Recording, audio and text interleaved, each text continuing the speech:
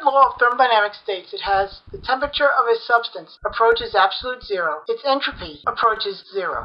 The concept is that because heat is a result of the motion of the molecules in an object, and that this motion causes the molecules to move around and spread out, that this causes a condition of high entropy. As an object is cooled, the object's molecules slow down.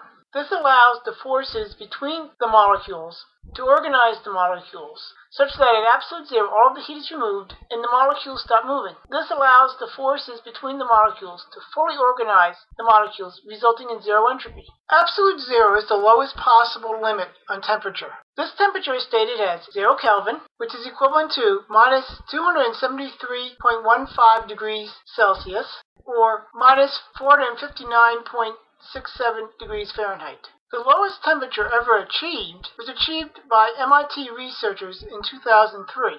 That temperature was 0.45 nanokelvin, which is 45 ten billionths of a Kelvin, or 45 ten billionths of a degree Celsius above absolute zero. And here is the same temperature in Celsius and Fahrenheit respectively. While absolute zero is the lowest limit on temperature, it is not actually achievable. You can get infinitely close to absolute zero, but not exactly at absolute zero. You just can't get rid of that last bit of heat.